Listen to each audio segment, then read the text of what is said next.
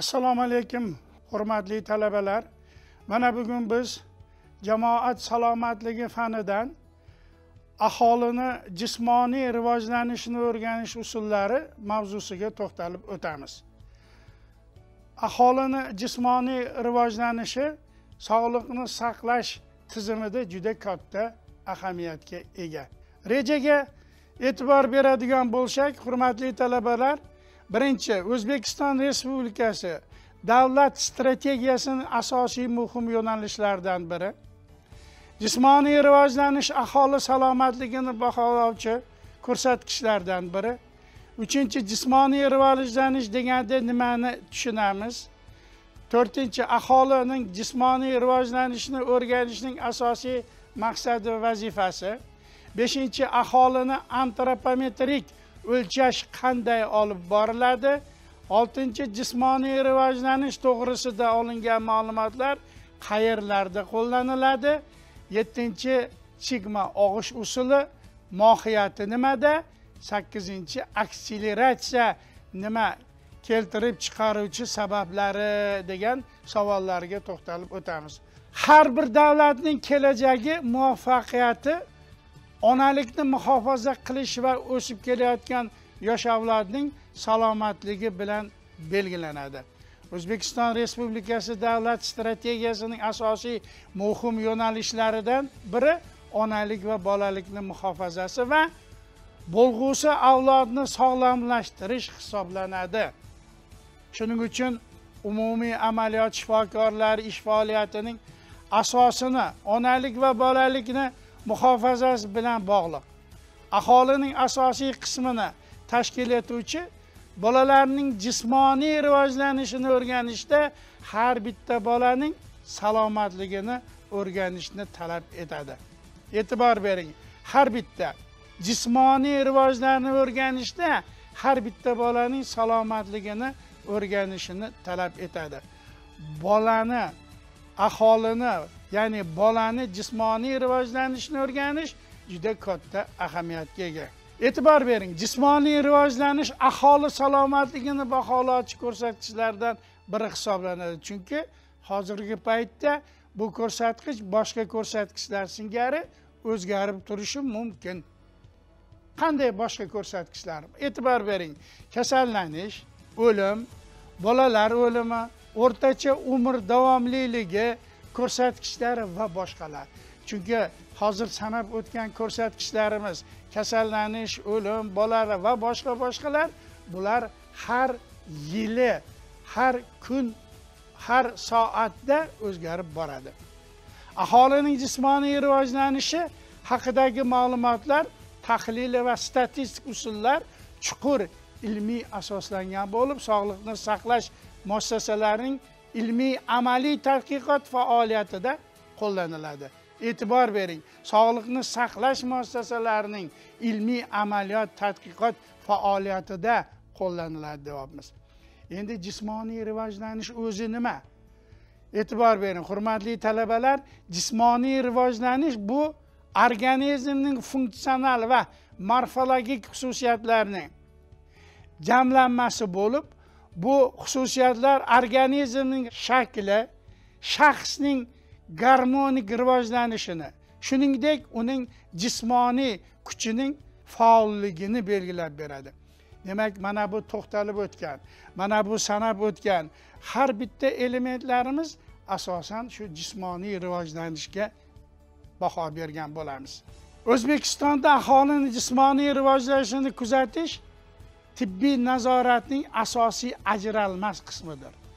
Aholining jismoniy rivojlanishi turli yosh jins guruhlari bo'yicha sistematik ravishda kuzatiladi.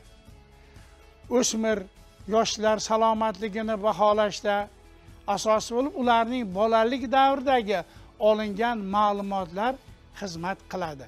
Jismoniy rivojlanishni o'rganish asosan tug'ilganda bola tug'ruqxonada tug'ildimi?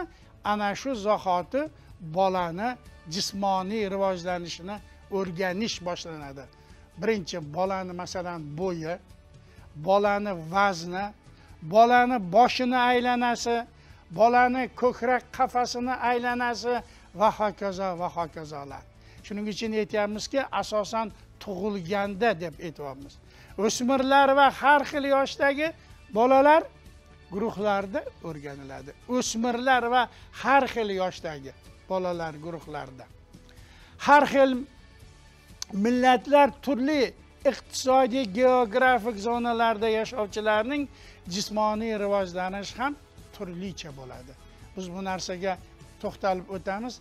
Har bitta shahar yoki har bitta davlat ularni o'zlarini etnik xususiyatlari bor ya'ni urfu odatlari ana shu narsalar ham aholini bolalarni jismoniy rivojlanishiga ta'sir etadi.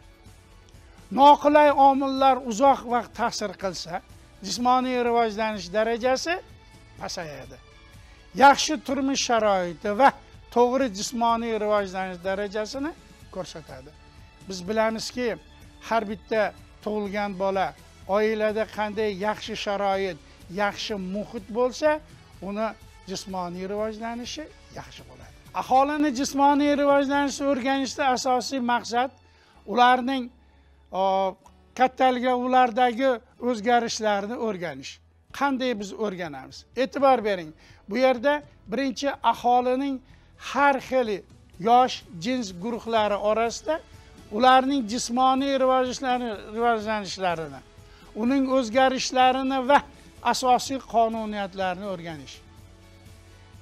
Ikkinchi bir kollektivning o'zida ularning salomatligini jismoniy rivojlanish dinamikada o'rganish va uni qonuniyatlarni aniqlash ularning salomatligini yaxshilash borasida chora tadbirlar belgilash. Aholini ya'ni bolalarni jismoniy rivojlanishi har doim azizlarim dinamikada o'rganiladi. Dinamikada o'rganish degani har kuni har soatda har oyda va hokazo va hokazo. Bitta bolani biz jismoniy rivojlanishini o'rganadigan bo'lsak dinamikada o'sha bola tug'ilganda masalan uch yoshgacha to'rt yoshdan yetti yoshgacha masalan agar boshqa bolalarni alohida yana o'rgansak ular dinamikaga kirmaydi. Biz dinamikada o'rganmasak bolalarni jismoniy rivojlanishiga baho bera olmaymiz. Hozir biz to'xtalib o'tamiz keyingilarda. Uchinchi aholining har xil iqlim geografik etnik yosh jins guruhlarini ayniqsa bolalar orasida jismoniy rivojlanish standartlarini ishlab chiqish. Har o'n o'n besh yilda jismoniy rivojlanish qaytadan ishlab chiqariladi. Masalan sobiq sovet ittifoqi davrida butun sssr bo'yicha ishlab chiqilgan. Bu ishlab chiqilgan degani hamma o'sha o'n beshta o'sha vaqtdagi respublikalar kirgan. Hozir biz o'zbekistonda jismoniy rivojlanishni xuddi shu tartibda o'rganamiz. Har bitta narsaga e'tibor beramiz. E'tibor bering aholining har xil iqlim geografiya etnik yoshi jinsi guruh bu juda katta ahamiyatga ega. Masalan surxondaryo e, viloyatini oladigan bo'lsak bu farg'ona viloyatiga o'xshash emas. Andijon viloyatini oladigan bo'lsak qashqadaryo viloyatiga o'sha geografik joylanishi etnik xususiyatlariga to'xtaladigan bo'lsak.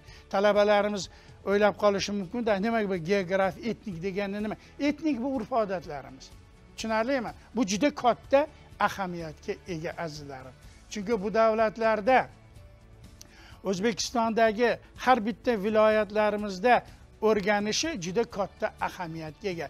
Chunki bu e, viloyatlarimizda ularni etnik xususiyatlari bir biridan farq qiladi. Juda katta ahamiyatga ega. Jismoniy rivojlanishni o'rganganda o'rganib biz standart ishlab chiqish. Standart ishlab chiqish bu bolani jismoniy rivojlanishini qandayligiga baho berish uchun bunga hozir sekin sekin to'xtalib o'tamiz. Bu oson narsa emas standart ishlab chiqish. Bolalar orasida o'tkazilayotgan chora tadbirlarni baholashdan iborat. Biz mana shu to'xtalib o'tgan har bitta masalalarimiz juda katta ahamiyatga ega. Jismoniy rivojlanish darajasini va yo'nalishini belgilovchi omillar uchta asosiy guruhlarga bo'linadi. E'tibor bering birinchisi endogen omillar. Endogen omillarga nimalar kiradi? Irsiy ona qornidagi ta'sirlar muddatiga yetmay tug'ilish tug'ma paroklar va boshqalar. Endagin omillar har bir ayolda bo'lishi mumkin. E'tibor bering irsiy. Bu irsiyatdan o'tib kelishi. Irsiyatdan o'tib kelishi birinchi masalan aytaylik qizida bo'lmasa uni qizida bo'lishi mumkin. O'g'lida bo'lmasa uni o'g'lini o'g'lida bo'lishi mumkin. Chunki bular genlar orqali irsiy o'tib kelyapti. Ona qornidagi ta'sirlar. Endi siz bilan biz bilamizki ayollar homilador vaqtida qanday omillar ta'sir etadi? Har xil omillar ta'sir etadi. Bu juda katta ahamiyatga ega. Shuning uchun biz ayollarimizni homilador bo'lgan vaqtida qonun qoidalariga asoslangan holda. Chunki bolani rivojlanishi qanday? Mana hozirgi vaqtda e, ekologiya va boshqa boshqa muhitlarni ta'sir etishi natijasida juda katta o'zgarishlar bo'lishi mumkin. Ikkinchi tibbiy iqtisodiy omillar. E'tibor bering iqlim yashash joyi yoki yashash relyefi daryo dengiz o'rmonlar va tog'lar va boshqalar. Endi e'tibor bering tibbiy iqlim omillar bu juda katta ahamiyatga ega. Qayerda tibbiy iqlim omillari yaxshi bo'lsa u yerda bolalar sog'lom tug'iladi. Shundan bittasi mana bizani o'zbekiston respublikamiz tog'lik joylar e, u yerlardagi atmosfera havosini yaxshiligi va boshqa boshqa narsalar yashash sharoitlarini mana hozirgi vaqtda hurmatli talabalar bilasizlar e, qishloq joylarda ham Э, qanday zamonaviy uylar qurilyapti? Qanday zamonaviy e, bolalar uchun joylar tashkil qilinyapti? Bular ham bolalarni jismoniy rivojlanishiga juda yaxshi ta'sir etadi. Yaxshi tomonga. Uchinchi ijtimoiy iqtisodiy omillar. Har doim man ma'ruzada ham to'xtalib o'taman hurmatli talabalar. Ijtimoiy iqtisodiy omillar juda katta ahamiyatga ega. E'tibor bering. Jamiyat qatori.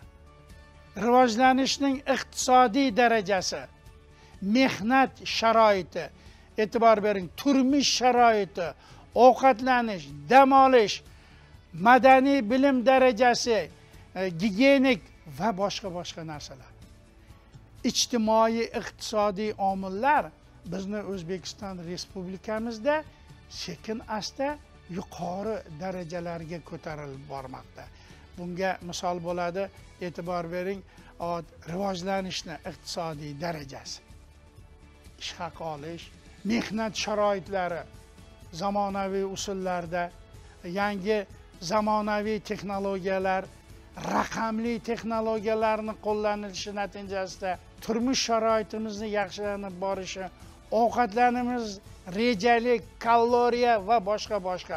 Bu narsalar ham qanday yaxshi rivojlanishga asosiy omillardan biri hisoblanadi. Barcha omillar bir biri bilan chambarchas bog'liq bo'ladi.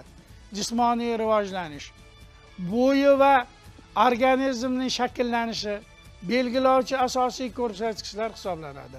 Bu ko'rsatkichlar biologik qonunlarga bo'ysunadi ekan balki muhim ijtimoiy sharoit komplekslariga ham bog'liq bo'ladi.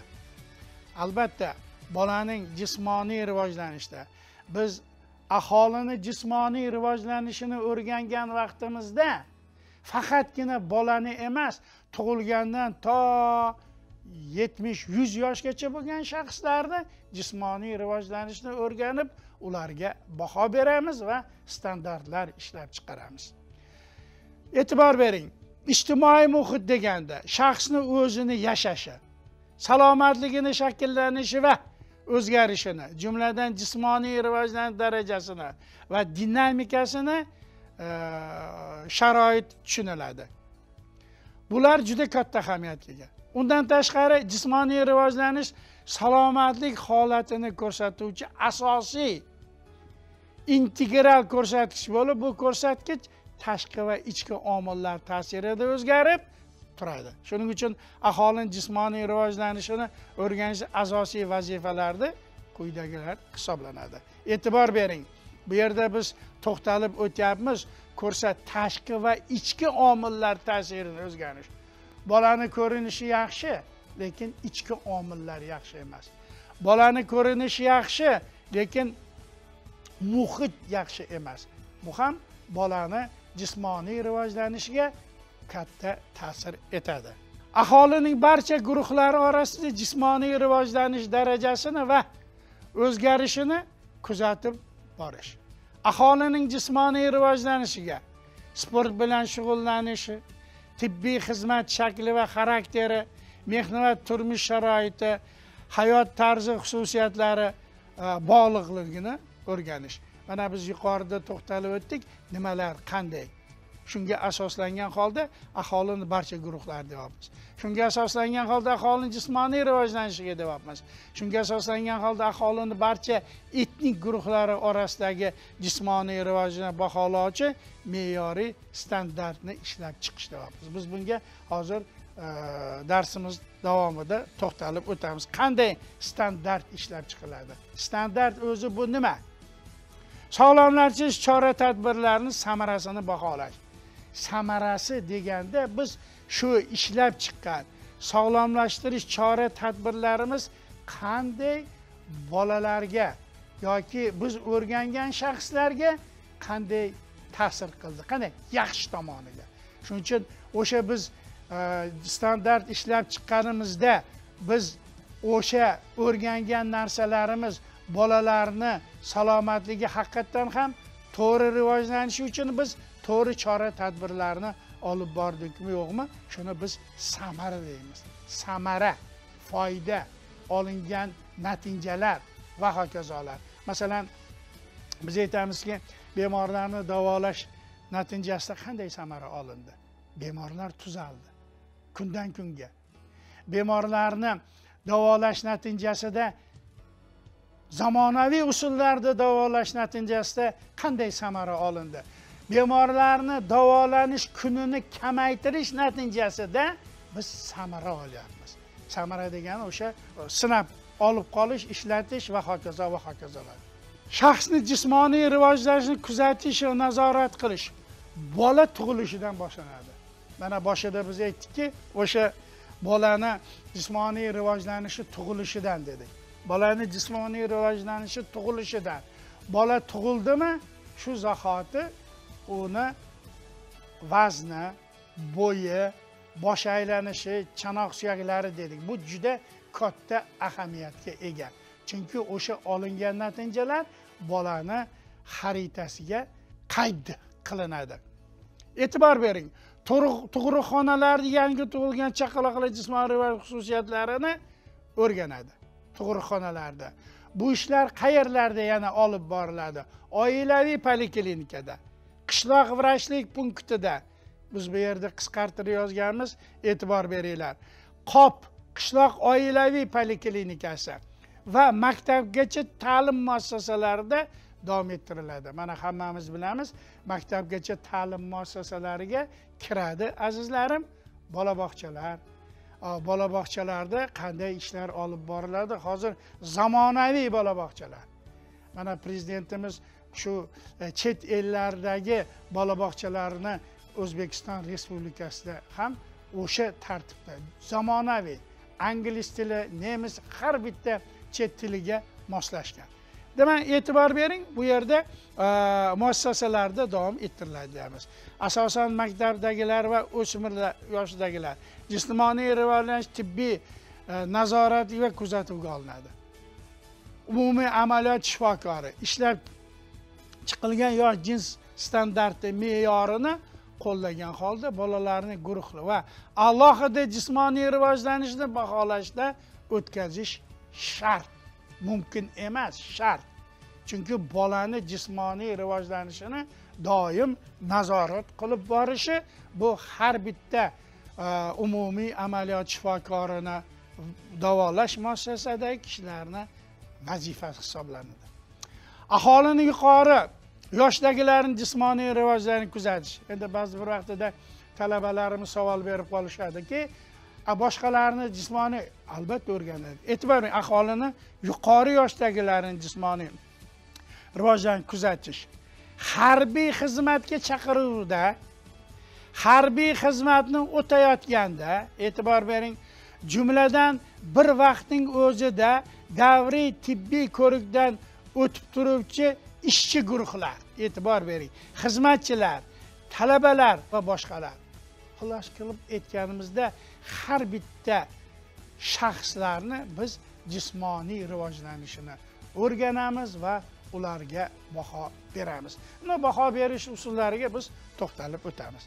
Jismoniy rivojlanish to'g'risidagi ma'lumotlar maxsus o'rganilgan tadqiqot jarayonlari orqali amalga oshiriladi. Uni asosida antropometrik dastur orqali olingan ma'lumotlar yotadi. Antropometrik o'lchovlar shaxsning tana va skelet massasini o'lchash orqali olib boriladi. Aholini jismoniy rivojlanishi antropometrik ma'lumotlarga asoslangan holda o'rganiladi. Birinchi jismoniy rivojlanishda vazni e, boshini aylanishi ko'krak qafasini aylanishi undan tashqari ularni chanoq suyaklari va boshqalar. Hurmatli talabalar bu yerda jismoniy rivojlanishni o'rganishda baholash usullari. Beshta guruhga bo'linadi. Birinchi jismoniy rivoj guruhlari. Birinchi guruh o'rta rivojlanish ikkinchi o'rtadan yuqori uchinchi yuqori to'rtinchi o'rtadan past beshinchi past. Biz sizlar bilan sigma og'ishi yordamida o'rganamiz. Sigma og'ishi buni maxsus hisoblar usullari yordamida. Mana shu jadvalga asoslangan holda bolalarni jismoniy rivojlanishiga baho beramiz. Ishlab chiqilgan standartlarga asoslangan holda. Man boshida aytdim jismoniy rivojlanishni o'rganganimizda standartlar ishlab chiqiladi. Masalan bir yoshdan uch yoshgacha to'rt yoshdan yetti yoshgacha shu yoshi bo'yicha jinsi bo'yicha ana shu standartlar ishlab chiqilganda hamma antropometrik ma'lumotlar mana shunga qarab baholaniladi. Hurmatli talabalar mana bugungi mavzuyimiz nihoyasiga yetdi. E'tiborlaringiz uchun rahmat.